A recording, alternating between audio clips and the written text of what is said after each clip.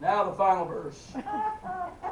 Surely goodness and mercy shall follow me a few days, sometimes, little bit, all the days of my life. And I will dwell in the house for the presence of the Lord. Amen. You see, he had to dwell in the house of the Lord, David's tabernacle, but we are the house of the Lord. Hallelujah. We are the temple of the Holy Ghost. Know ye not, know ye not, you are the temple. Amen. Christ in you, the hope of glory. Hallelujah. Greater is he that is in you than he that is in the world. I am with you, but I shall be in you. Amen. So he's in us. Hallelujah. Glory to God. Glory to God. But it says goodness and mercy. Hallelujah. You can change goodness to grace.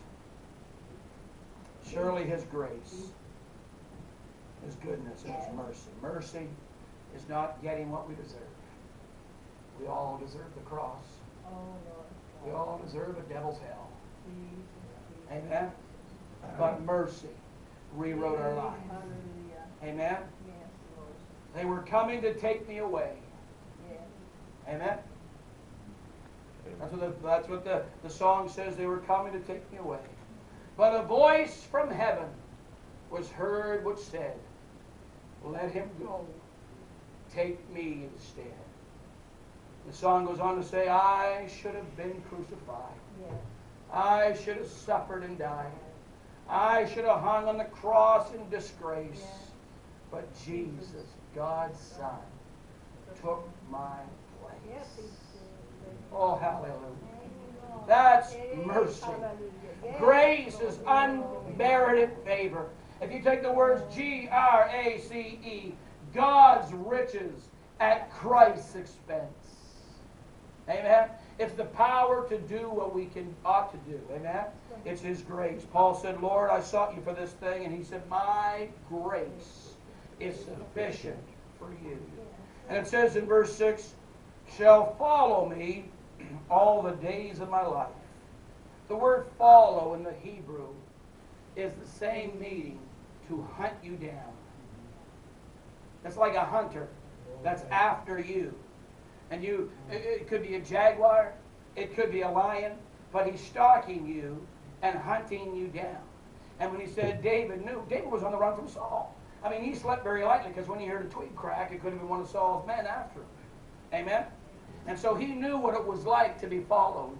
And he said, Surely goodness and mercy shall follow me, shall hunt me down. Hallelujah. The Bible says the blessings of God will come upon us and will overtake us. Oh, hallelujah. That's the God we serve. Amen. Hallelujah. He comes upon us and he overtakes us with his blessings. Amen. As you can tell, I haven't missed too many meals. The good news is my anorexia is in remission. Hallelujah. That's goodness. Amen. That's mercy. You could have been born in Calcutta.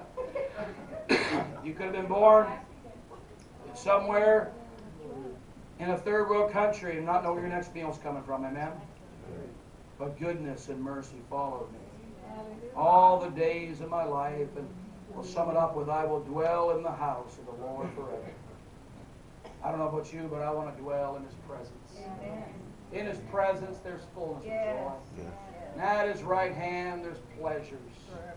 forevermore. Amen. Hallelujah. Hallelujah. Oh, what a psalmist. What a psalmist. Amen. The Lord is, is, is my shepherd. Amen. Hallelujah. He maketh me.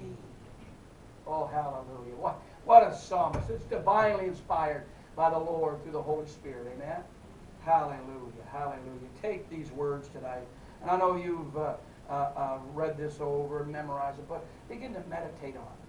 The Bible says in Joshua chapter 1, it says, if we will take this book of the law, amen, and if we will begin to depart, uh, excuse me, meditate on it day and night, and not let it depart out of the out of our mouth and out of our eyes, he said, he said, then you will have good success. Amen. Amen. When we get in the Word of God, it can't help but get in us. Yeah. Amen. Amen. Amen. Glory to God. Glory to God. Let's stand together. Let's sing that chorus. Surely goodness and mercy shall follow me all the days of my life. I will dwell in the house of the Lord forever. I want to encourage you to come out Wednesday, 6 a.m. till midnight. We are praying here in the upper room. And we're going to pray.